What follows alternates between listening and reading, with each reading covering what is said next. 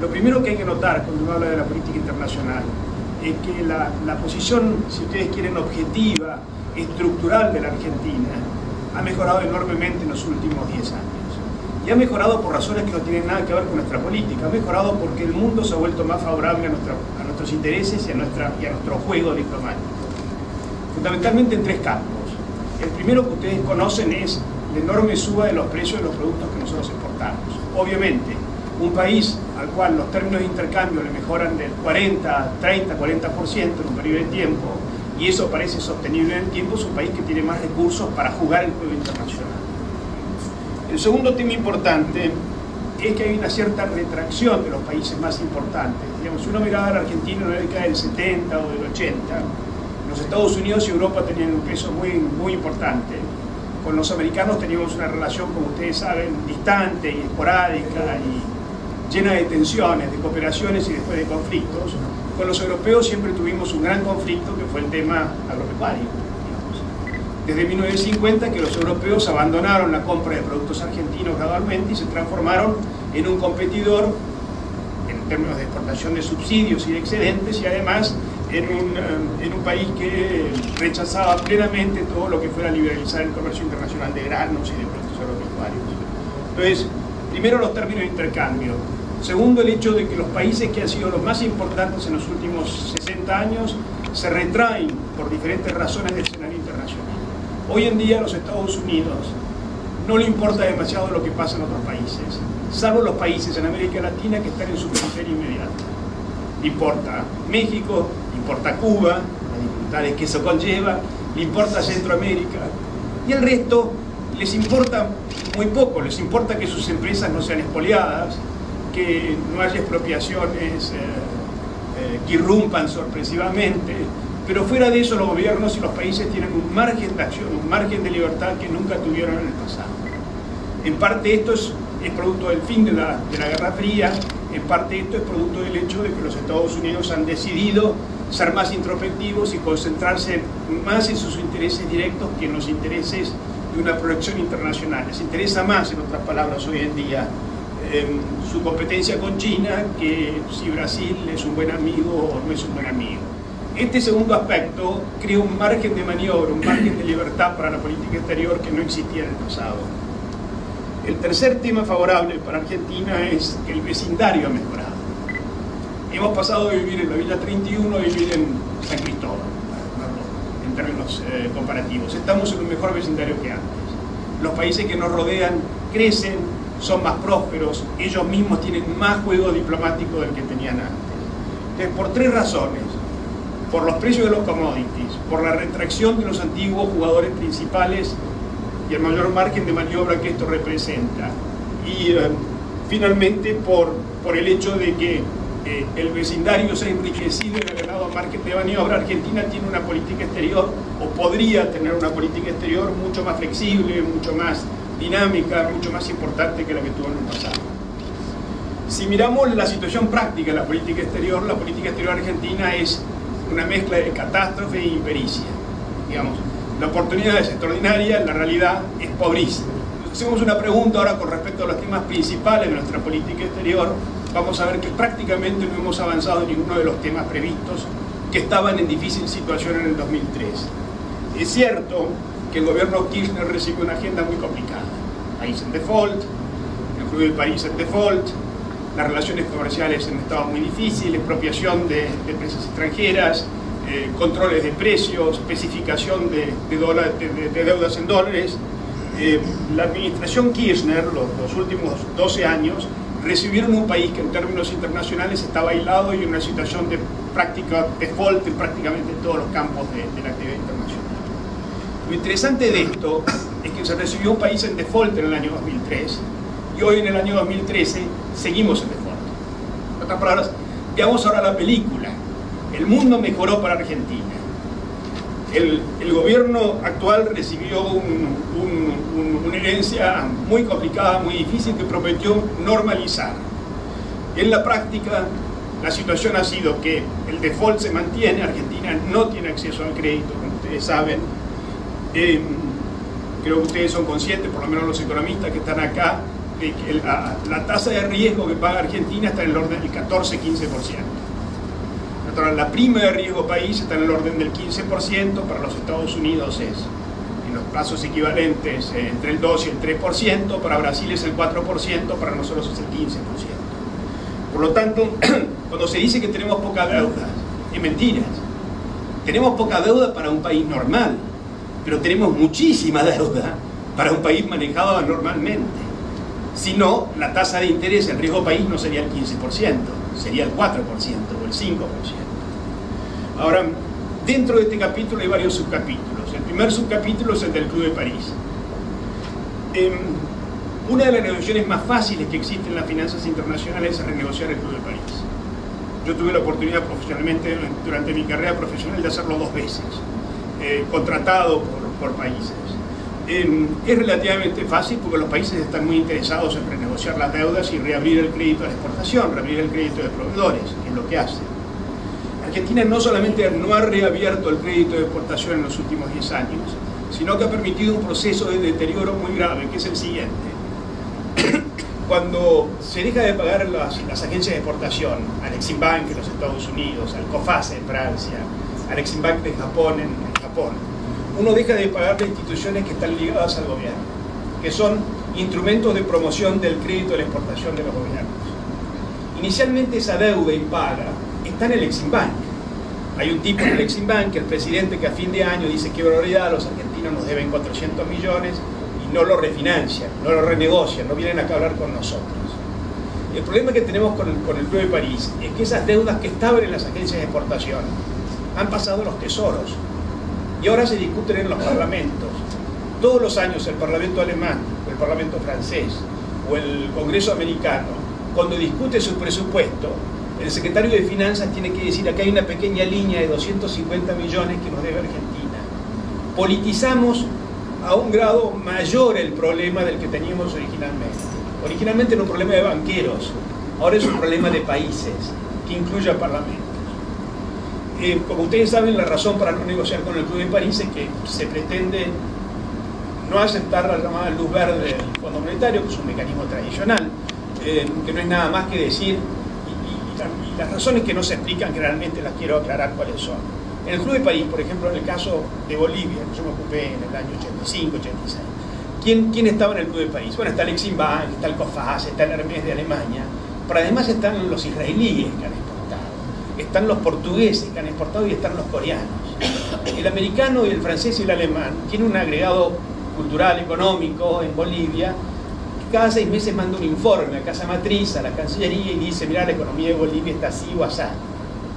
El israelí, el portugués o el coreano no tiene nadie.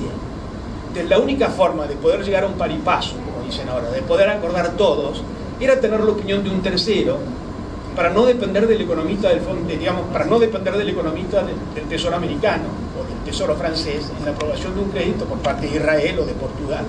Entonces, la, participación del, Fondo Monetario de París no es para sostener a los Estados Unidos o para sostener a Francia, es para darle voz y entendimiento a los países más chicos que no tienen, muchas gracias, que no tienen em, capacidad de análisis. Em, y en ese sentido, em, es, ya sabemos lo ilógico que tiene esta, esta posición. Esta posición está constituida primero sobre la creación de culpables, la crisis del 2001 fue culpa del Fondo Monetario, Obviamente, parcialmente el Fondo Monetario cometió errores, pero el Fondo Monetario es como una ambulancia. Se llega a lugares donde hay accidentes y la familia siempre protesta. Que al paciente lo sacaron para atrás, que le, golpearon la cabeza cuando lo subieron a la camilla. Pero la verdad es que el problema de Argentina no lo creó el Fondo Monetario, el problema de Argentina lo crearon las prácticas políticas, el déficit fiscal y la falta de buenas políticas macroeconómicas en finales de la década del 90. Y si fuera, como se dice, el Fondo Monetario, eh, ¿por qué no simultáneamente aquellos que acusan al fondo, al fondo, Monetario no fueron a buscar culpables en la clase dirigente política que había tomado las decisiones? Y la deuda es ilegítima, como se dice, tendrían que estar presos el presidente de la República, los miembros del Congreso que aprobaron en el Parlamento todos los préstamos que se hicieron durante esa década. En este sentido, lo quiero recordar es una cosa importante: no hay un solo país que no haya pagado sus deudas en los últimos 200 años, salvo aquellos que desaparecieron del mapa. Otras palabras, Las únicas deudas impagas que hay en el sistema internacional son las deudas del Imperio Austrohúngaro, del Imperio Otomano y de otros países como Serbia, que desapareció durante 80 años del mapa.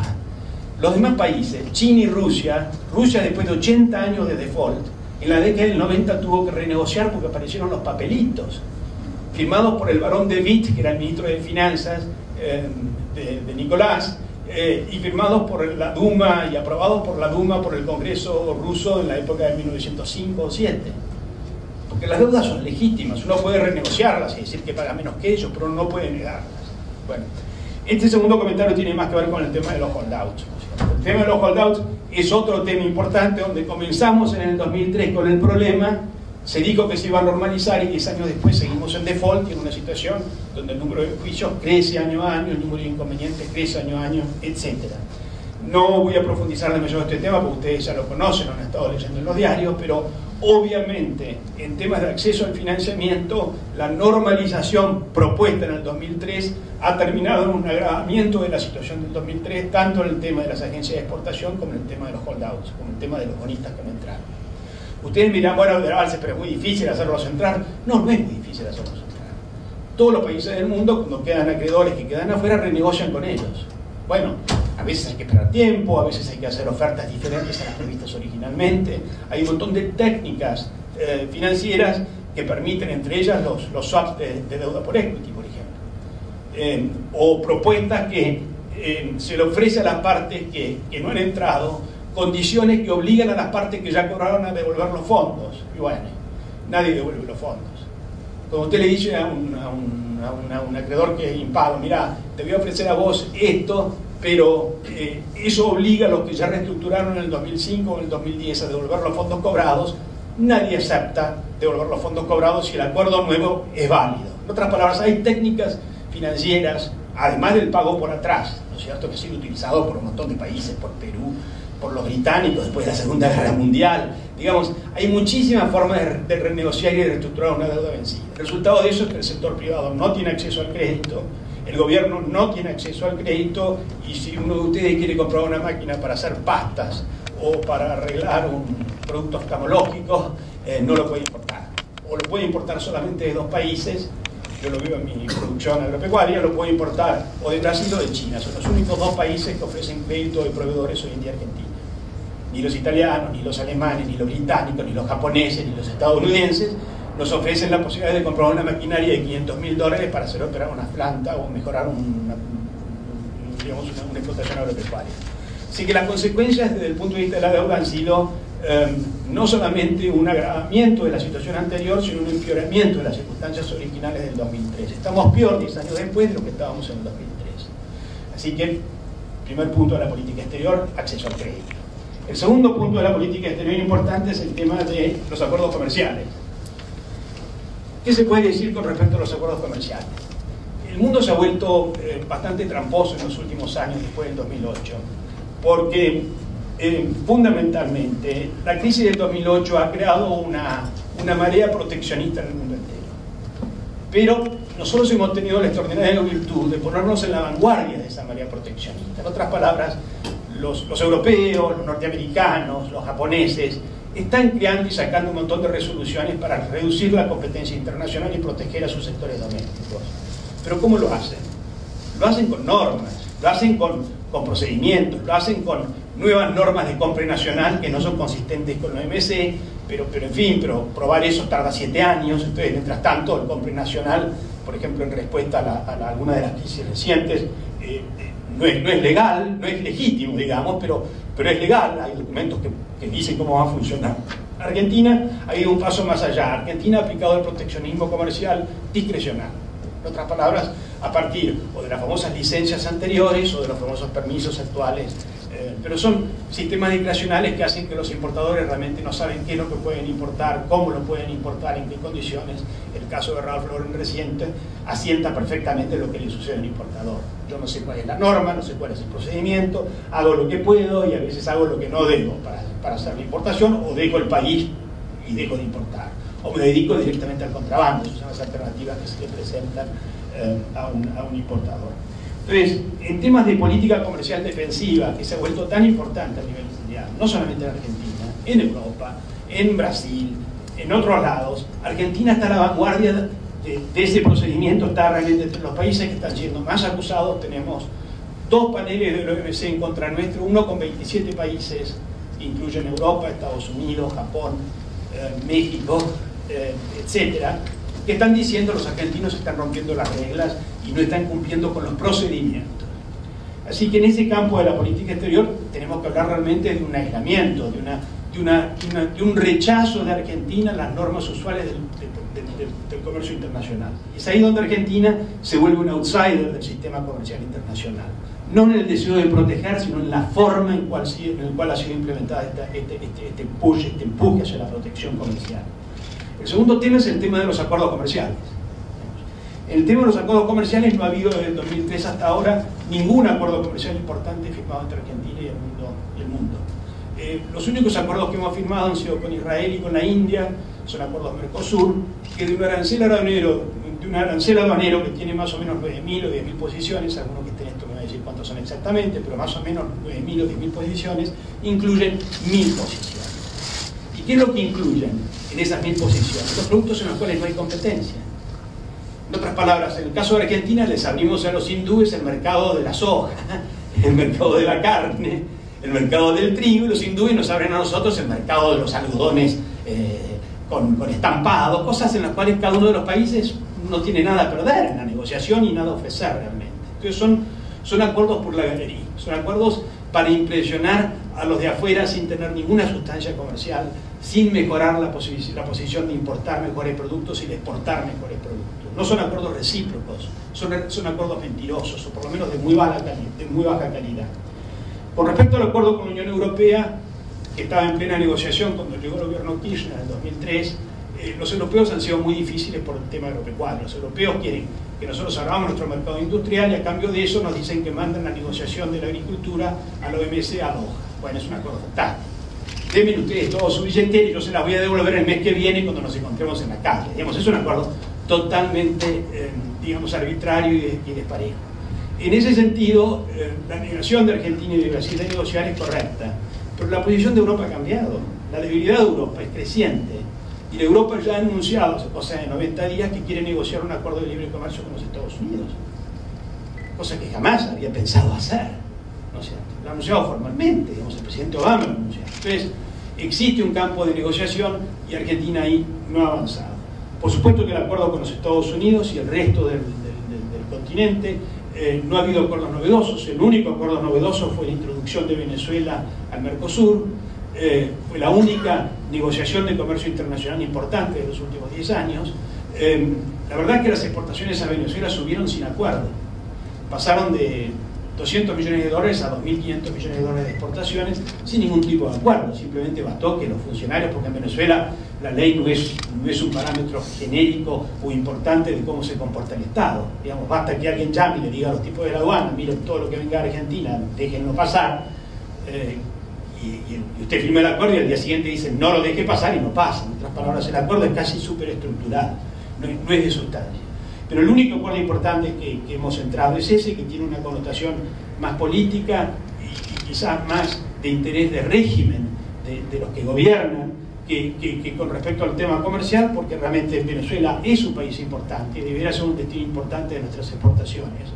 Porque fundamentalmente Venezuela fue un comprador de productos alimenticios de los Estados Unidos en los últimos 50 años. Entonces, es natural y tenemos un mercado potencial importante, porque podemos reemplazar al trigo, a la harina, a un montón de productos que tradicionalmente los americanos exportaban a, Venezuela. Es un mercado en competencia con los Estados Unidos para Argentina, eso es lo que es. Entonces nos conviene tener un acuerdo con Venezuela. Lo que no es imposible y lo que no es conveniente es, tener un acuerdo con, con el gobierno Chávez, sus sucesores, porque realmente eso no es un acuerdo, es simplemente un arreglo, digamos, con muy poca sustancia, con, con baja legitimidad, etc. En el resto de los campos todos los campos de integración comercial con nuestros vecinos, la situación se ha deteriorado. Digamos, con el Uruguay, ustedes ya saben todos los problemas que tenemos comerciales porque salen cada 15 días en los diarios.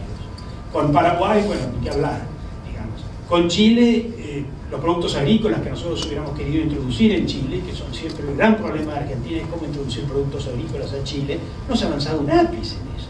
Nada. No se ha negociado nada. El sector agropecuario chileno sigue tan protegido como estaba hace 20 años. El trigo vale el doble en Chile que en Argentina. Ustedes me dirán, bueno, está bien. Bueno, pero si uno va a negociar es porque uno va a dar algo para recibir algo. Uno va a conseguir una concesión del otro lado y a cambio de eso uno va a dar algo. No se ha avanzado absolutamente nada en concesiones bilaterales regionales. El comercio con, Brasil está cada vez más concentrado en muy pocos productos. Industria del automóvil, unos productos alimenticios que ya estaban en las góndolas brasileñas en los últimos 20 años, son los que mantienen el comercio bilateral, no hay nuevos productos. Ahora, si uno mira el patrón comercial de Argentina, el patrón comercial uno hubiera pensado que en los últimos 10 años, con mejores precios, con un vecindario mucho más interesante y con mayores compradores, y con un mundo en el cual nuestros competidores tienen menos fuerza para competir porque están más interesados en lo propio, nosotros hubiéramos podido diversificar nuestras exportaciones. Ha pasado justamente lo opuesto nuestras exportaciones están más concentradas este año de lo que estaban en el año 2002 o 2003. En otras palabras, el objetivo fundamental es aumentar las exportaciones y además, en la medida de lo posible, diversificarlas. Bueno, ha pasado lo opuesto. Hemos aumentado las exportaciones fundamentalmente por un efecto precios. Hay un efecto volumen también, pero en la soja, en seis o siete productos y en la industria del automóvil.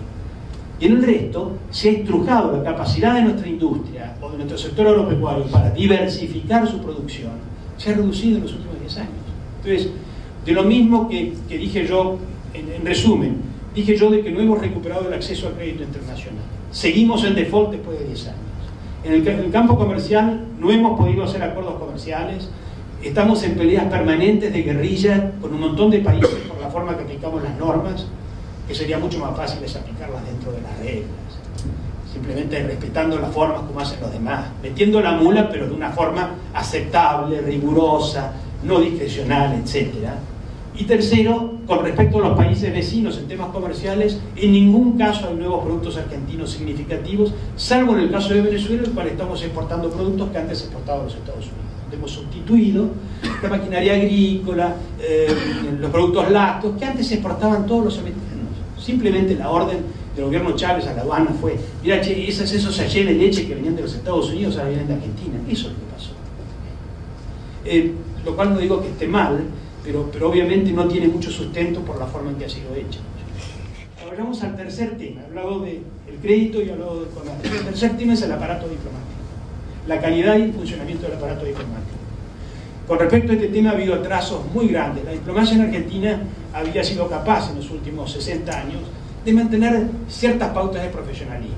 Es cierto que hubo momentos difíciles por los conflictos políticos que había en el país, pero usualmente se reclutaba a través de sistemas relativamente imparciales, se entraba en una escuela donde los estudiantes, donde los jóvenes diplomáticos tenían que estudiar y los mejores eran promovidos a las mejores posiciones, y las promociones dentro de la carrera se hacían fundamentalmente entre los funcionarios de la carrera y se les daba un espacio acotado a los políticos. Había en total Carchi, que conoce esto muy bien, mucho mejor que yo, eh, creo que eran 25 embajadores políticos, ¿no es cierto?, lo que permite la ley del comercio exterior.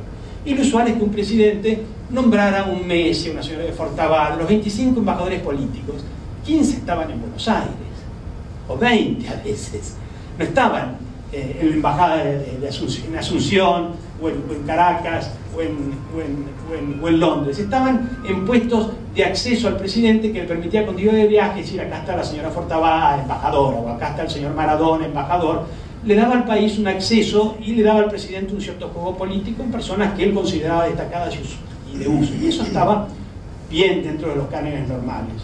Hoy en día han renunciado 60 embajadores en los últimos tres años. 60 embajadores seniors han renunciado y se han retirado, ¿no es cierto?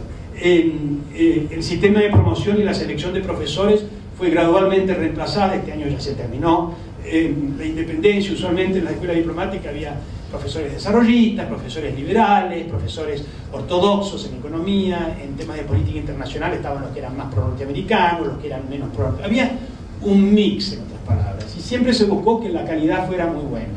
Ese mix ha desaparecido. Entonces lo que estamos viendo en la justicia, y que todo nos sorprende tanto, también en otra escala, seguramente menos peligrosa, seguramente con consecuencias en el corto plazo menos dramáticas, está pasando en la diplomacia. El resultado de esto, de la politización del nombramiento de embajadores políticos en prácticamente todas las embajadas importantes. Si ustedes piensan, piensen, piensen en París, embajador eh, Aldo Ferrer, que ha renunciado. en Londres, Alicia Castro. En, en Washington, la, la, compañera de, de Kisilov. digamos, uno va por la lista y uno va a ver que prácticamente 30 embajadas importantes, 25 o 26, están en manos de figuras de la política que no son muy prestigiosas. Estamos hablando de un público menor, de un público sin capacidades, sin prestigio, etcétera, que está ocupando la estructura diplomática y como resultado de eso desmoralizando el espíritu de una de las pocas instituciones que tuvimos en el Estado, junto con los militares y quizás en parte del Banco Central, donde había una estructura de funcionarios de largo plazo que eran reclutados, que eran promovidos por el mérito, etc. Entonces, hablé del acceso al crédito. Estábamos y seguimos en default. Hablé de lo comercial, no se ha hecho nada en lo comercial, nuestra posición comercial internacional se ha deteriorado gradualmente en los últimos años, a pesar de condiciones muy positivas. Ahora comenté un poco el tema del aparato burocrático y de su desmoralización y de su desarticulación. El cuarto tema son los temas de gobernanza global. Voy por grandes temas más que por temas puntuales, porque eso les da a ustedes un marco de referencia.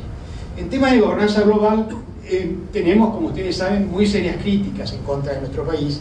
Eh, somos vistos como un refusnik prácticamente, como un indignado en las reuniones, eh, primero tenemos problemas puntuales, se nos, ha sacado el, se ha sacado del sistema de preferencias generalizadas, que era un sistema que le daba ciertas preferencias a algunos productos argentinos para tener acceso preferencial con menos aranceles al mercado de Estados Unidos y Europa. Así que tenemos eh, los temas de eh, rechazo con respecto al sistema de preferencias generalizadas, la erosión de esos privilegios que teníamos, que eran importantes para las economías regionales, eh, los votos en contra, que todavía no tienen un efecto suficiente porque no suben el 50%, pero es muy inusual que en el Banco Mundial, yo trabajé ahí varios años, se vote en contra de un país, es clarísimo.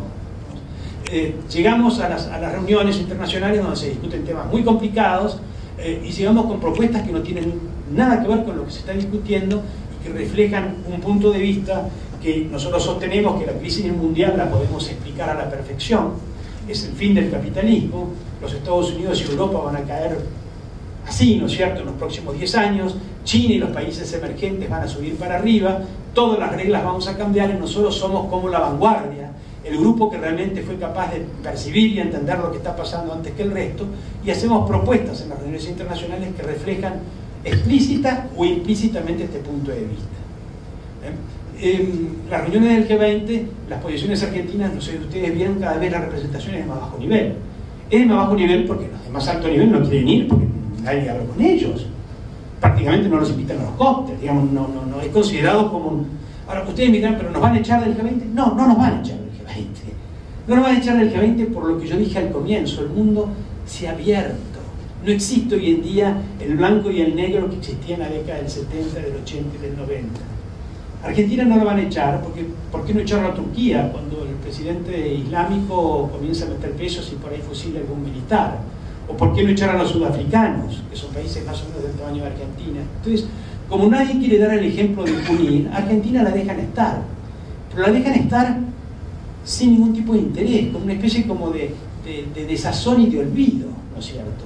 Prácticamente nuestras participaciones en estas instituciones eh, son, eh, vistas con, gracia, con, una mezcla de desprecio y, gracia, digamos. Qué, gracioso y qué despreciable es la falta de foco, la falta de entendimiento que hay sobre los temas internacionales. El, cuarto punto es el tema del INDEC y la posible punición que tenga el Fondo Monetario con respecto a nuestras estadísticas, que ustedes ya conocen, estaban en los diarios esta última semana. Así que cuatro puntos de gobernanza en los cuales en todos hay un deterioro todos hay un deterioro gradual, pero sistemático, donde de Argentina se habla mal, se la considera mal, con las consecuencias que eso tiene. Vamos al tema de la inversión, que es un quinto gran tema. Representando más o menos el 10% del PBI regional, recibió el 0.2% de la inversión extranjera eh, en los últimos 12 eh, meses. Eh, de todas formas, el número ha conocido, hemos pasado del segundo o tercer lugar en la década del 90 al sexto lugar. Primero viene Brasil, después viene México, después viene Chile, después viene Colombia, después viene Perú, después venimos nosotros. Eh, no solamente eh, se invierte muy poco en Argentina, los extranjeros invierten muy poco, sino que muchos de los grandes grupos económicos argentinos, cuando prefieren hacer una, decisión de inversión, prefieren hacerla en un país otro que, Argentina. Eh, si uno mira los balances de IMSA, de Pescarmona, por ejemplo, que no es uno de los grupos más grandes, pero que es un grupo internacional, el, balance de Pescarmón era 90% activos en Argentina en el año 2003, hoy en día 50% de sus activos están en Brasil y en otros lados. Lo mismo pasa con Techin. Techin no, no gastó 2.500 millones de dólares en expandir su producción siderúrgica en Argentina, compró el 30% de Usiminas el año pasado en Brasil. En otras palabras, tenemos no solamente una muy baja eh, eh, inversión extranjera directa en grandes proyectos, que es notorio, sino que además de eso, los grupos grandes locales, sigilosamente, con cuidado, en general prefieren hacer sus inversiones en otro lado. Eh, esto nuevamente es una quinta dimensión de la política exterior. La política exterior no es una reunión de embajadores para discutir qué va a pasar en el Comité de la Unión de las Naciones Unidas el año pasado mañana. La política exterior es acceso al crédito, comercio, gobernanza, cómo nos llevamos con los demás países. Son cosas prácticas, son cosas prácticas y concretas que hacen al funcionamiento de un país. Entonces, en cinco temas eh, muy importantes, Argentina ha sufrido un deterioro, eh, en algunos casos muy marcado y en otros casos marcado en los últimos 10 eh, años. Argentina lo que tenía que hacer era juntar un grupo de compañías, a IPF, a Pan American Energy, a, Bridas, a Plus Petrol, a cuatro o cinco compañías, juntarlas al Estado, presentarlas ante los bolivianos. Teníamos todos los contactos ideológicos para hacerlos y políticos para hacerlos. Hay unos operadores políticos que viven de La Paz a Buenos Aires explicando los mensajes antiimperialistas, etc. Teníamos todos los medios. No se hizo. En otras palabras, somos incapaces de eh, alcanzar el interés nacional, mismo en circunstancias profundamente favorables desde un punto de vista político, para hacer un acuerdo que no es un acuerdo de mercado, es un acuerdo de país a país, para exportar gas y asegurarse en el largo plazo una provisión de gas a un costo mucho más barato. Hay que invertir más o menos 2.000, 2.200 millones de dólares en exploración y 1.000 millones para completar los gasoductos, 3.000 millones. Baratísimo comparado a la plata que nos va a costar hacer otra cosa. Pero no se pudo hacer esto, y esto es una demostración fehaciente de una inoperancia muy profunda. Porque si usted en lo que tiene los medios, tiene la billetera, conoce a la persona, puede hablar, se creen, se respetan y usted es incapaz de negociar cosas básicas de interés nacional, usted está demostrando una gran ineficiencia, una gran incapacidad. Tenemos otro caso que ustedes seguramente conocen un poco más, que es el caso de Uruguay.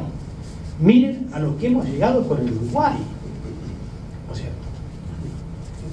No, solamente por los comentarios eh, del presidente Mujica recientes, sino por el estado de ánimo de los uruguayos de todos los medios sociales con respecto a Argentina.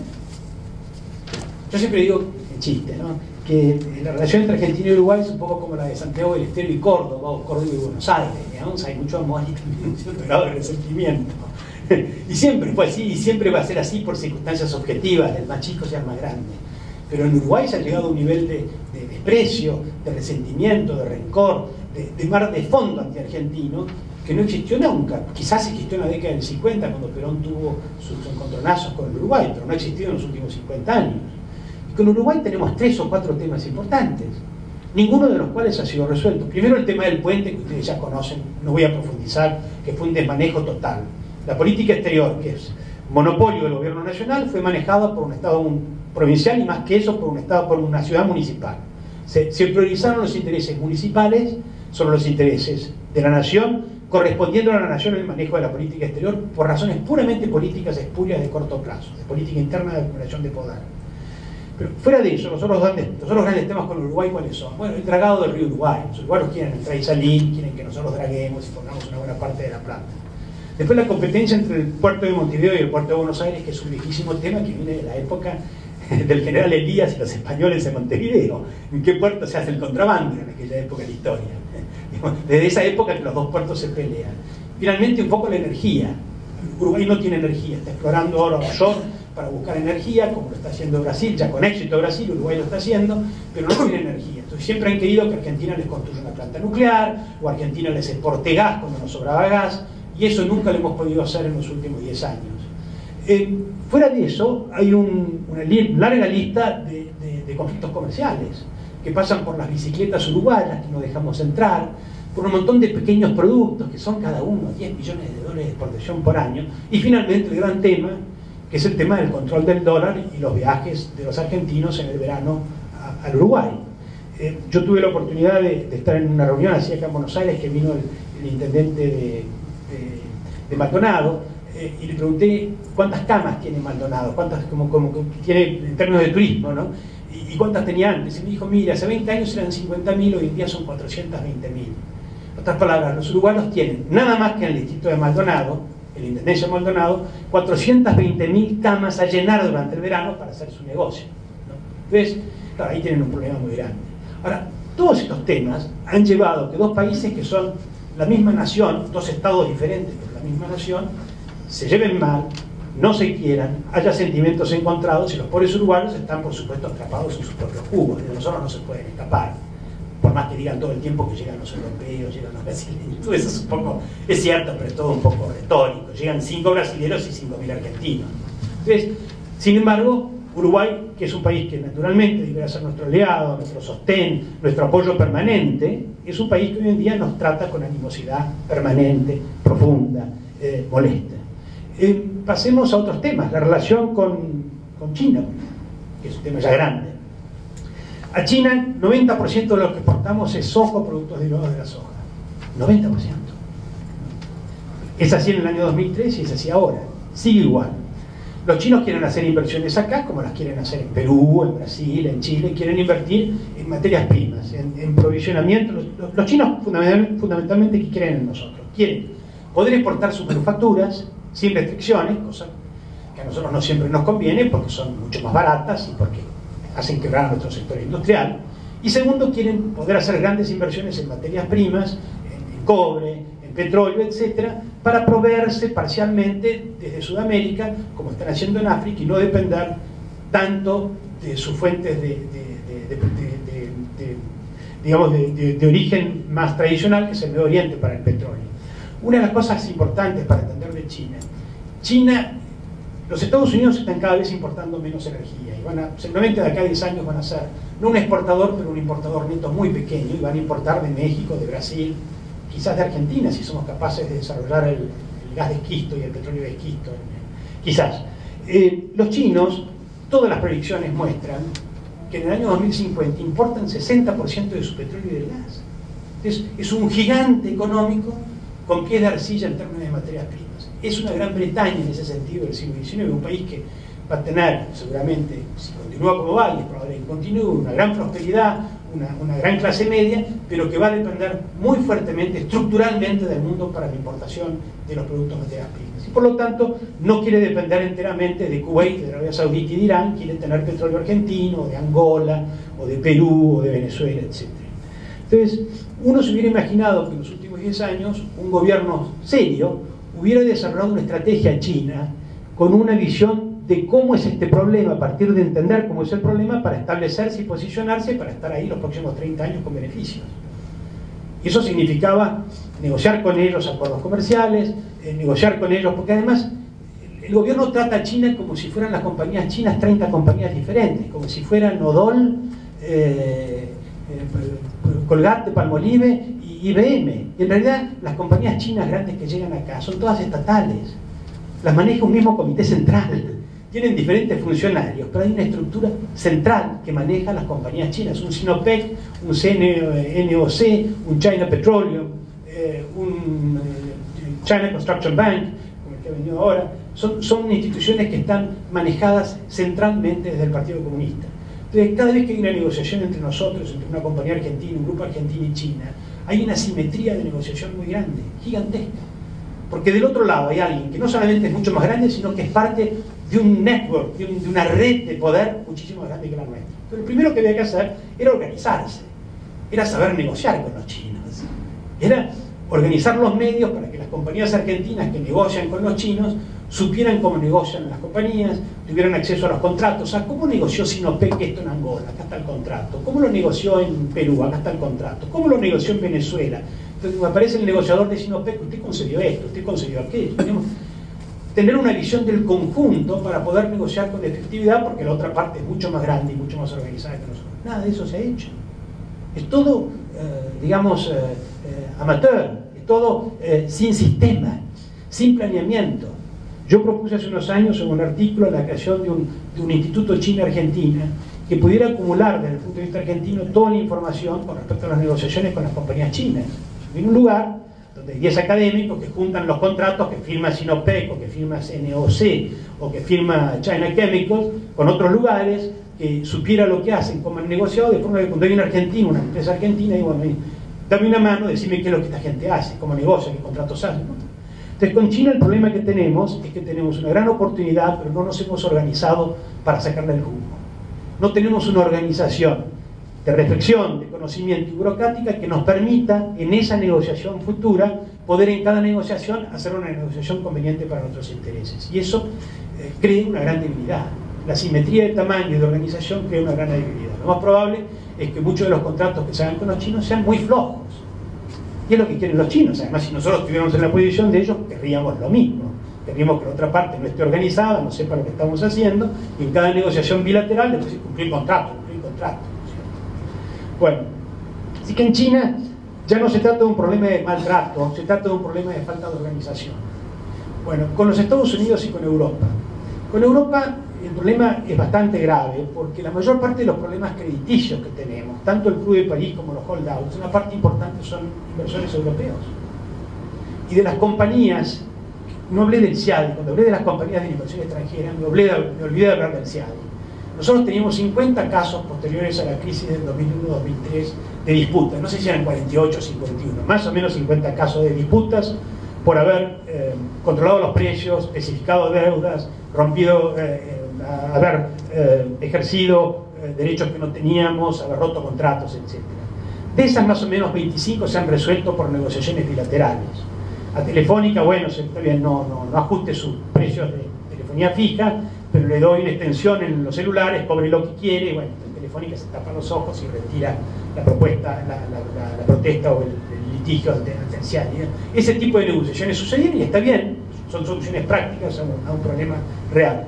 Pero quedan 20, 25 casos, de los cuales ya se han perdido varios, son esos casos perdidos americanos que generan la animosidad del Tesoro americano y del Departamento de Estado en las votaciones del BID y del Banco Mundial. Ese es el origen. Digo esto porque me había olvidado de hacer este comentario, porque es otro frente de batalla donde ha habido algunas mejoras del 2003 ahora, en vez de 50 casos quedan 25, pero quedan 25 casos sin resolver. Argentina tiene 25 casos, 10 años después del año 2002, sin resolver de disputas con grandes compañías internacionales, que de acuerdo a las estimaciones suman entre 20 y 40 mil millones de dólares. Se negociarán por un monto mucho menor si se pueden negociar, pero hay que tener la voluntad de hacerlo, la capacidad, la organización, etc.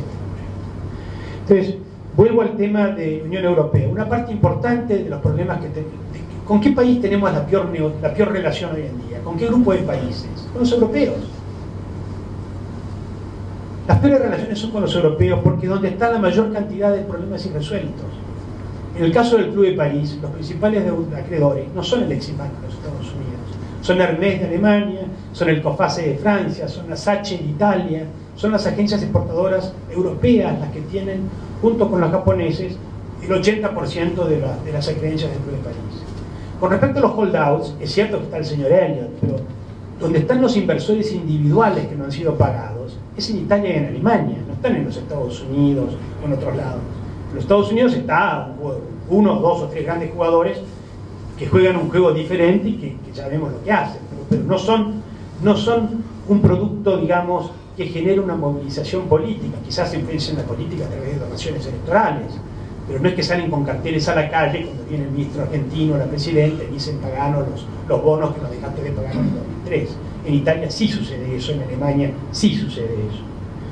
Entonces, con Europa, eh, como la negociación bilateral Unión Europea-Mercosur se, se planchó, se, dejó de lado, también tenemos una posición en la cual realmente hay una distancia muy grande, además de los conflictos bilaterales graves que han sucedido en los últimos meses, como el de, eh, el de Repsol, ustedes conocen, ¿no es cierto?, con España, que seguramente de los países europeos es aquel con el cual tenemos eh, la relación más íntima.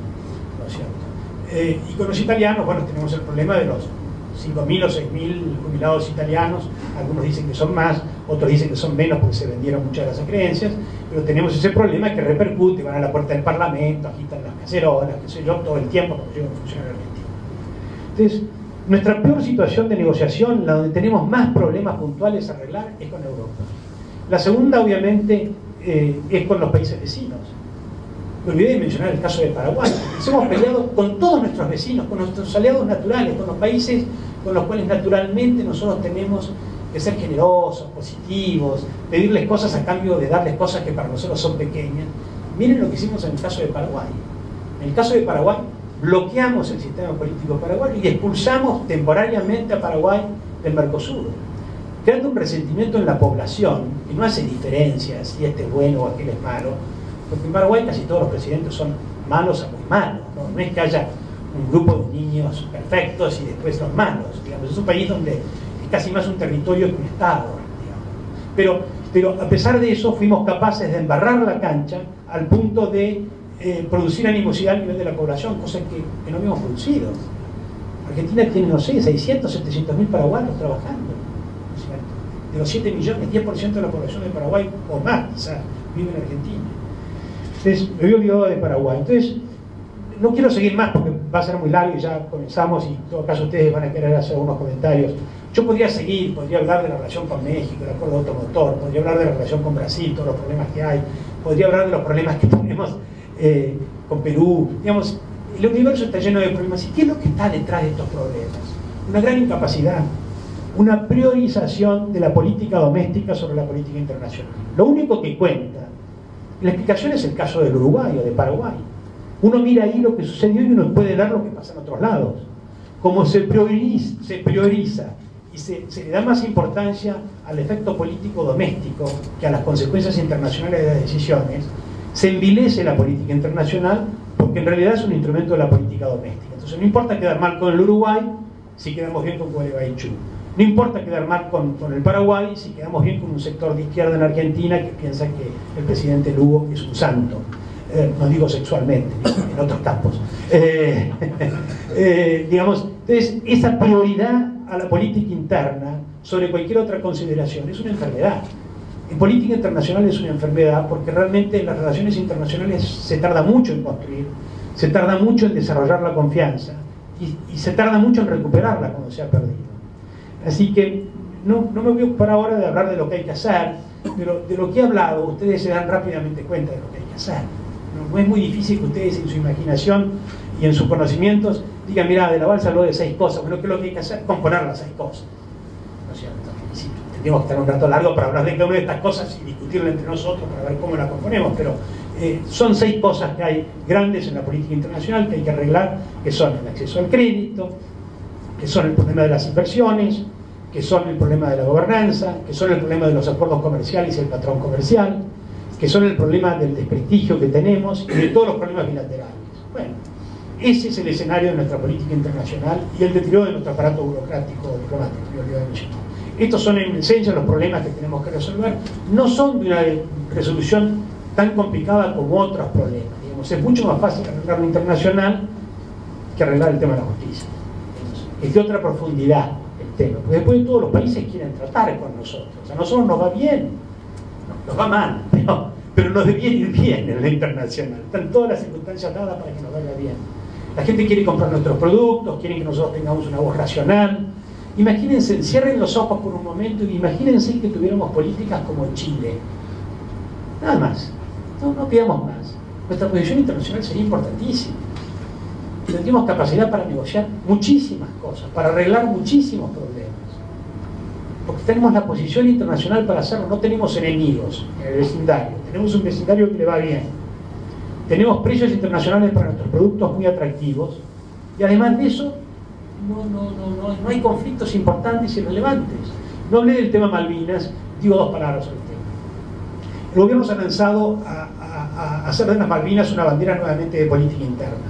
La primera forma de avanzar en el tema Malvinas es ocupar la plataforma continental.